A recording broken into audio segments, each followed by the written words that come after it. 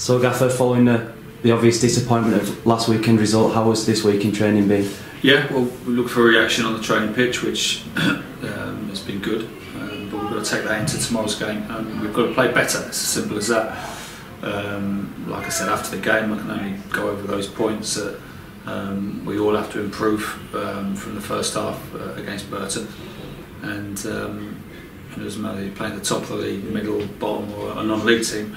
You, know, you have to take play better yourself as individuals and, and collectively as a team. And um, I'm looking for an improved performance down at Peterborough.